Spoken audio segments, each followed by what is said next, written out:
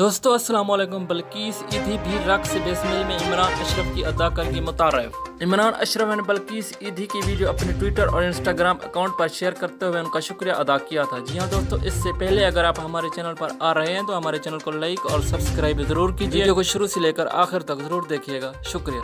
बल्किस ईदी भी रक्स बेसमिल में इमरान अशरफ की अदाकारी की मुतारफ पाकिस्तान की मरूफ समाजी शख्सियत व फलाही इदारे ईदी फाउंडेशन की शरीक सरबरा बल्कि सीधी ने भी ड्रामा रक्स बिस्मिल में इमरान अशरफ की अदाकारी को सराहा गुजशत रोज अदाकार इमरान अशरफ ने अपने सोशल मीडिया अकाउंट पर एक वीडियो शेयर की थी, जिसमें एक खतून बिल्किस ईदी का इंटरव्यू कर रही थी और हाल ही में अख्ताम पसीर होने वाली मकबूल तरीन ड्रामा रक्स बिस्मिल के हवाले से उनकी राय ले रही थी।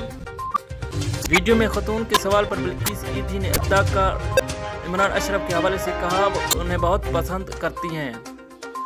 रक्स बिस्मिल की कामयाब अख्ताम के बाद सोशल मीडिया सार्फिन का स्क्वेल बनाने का मुतालबा। जी हाँ दोस्तों, इससे पहले अगर आप हमारे चैनल पर आ रहे हैं तो हमारे चैनल को लाइक और सब्सक्राइब ज़रूर कीजिएगा और वीडियो को शुरू से लेकर आखिर तक ज़रूर देखिएगा। शुक्रिया।